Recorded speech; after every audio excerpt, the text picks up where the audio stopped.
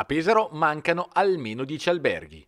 Pensiero espresso dal sindaco Matteo Ricci fra i tanti temi emersi dalla conferenza di fine anno del primo cittadino quantità e qualità ricettiva che sono vecchi temi che diventano motivo di ulteriore riflessione alle porte di un 2023 che saranno ponte preparatorio al 2024 della capitale della cultura. Lo diciamo da anni, vanno ringraziati tutti coloro che hanno investito e stanno investendo nelle strutture pesaresi, anche in anni difficili perché abbiamo attraversato il Covid quindi già il fatto che siano riusciti a resistere è grande cosa però è evidente che nella strategia che abbiamo messo in campo, che vedrà nella capitale della cultura un passaggio determinante, il tema della quantità e della qualità delle strutture alberghiere è un elemento fondamentale.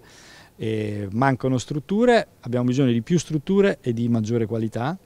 E nel frattempo che cosa sta succedendo? Che tanti pesaresi stanno affittando il proprio appartamento ai turisti. Questo è positivo perché allarga l'offerta però sono appartamenti che vengono meno per le esigenze sociali, cioè tanti pesaresi stanno preferendo dare il proprio appartamento in affitto ai turisti per 4-5 mesi all'anno piuttosto che darlo alle famiglie per tutto l'anno. E quindi c'è un problema affitti, un problema casa a Pesaro notevole per tante famiglie in difficoltà, quindi eh, l'esigenza di nuove strutture è fondamentale, è chiaro che non, non, non arriveranno in poco tempo, ma speriamo che anche la il faro che accendiamo su Pesaro con la capitale della cultura possa attrarre anche investitori da fuori.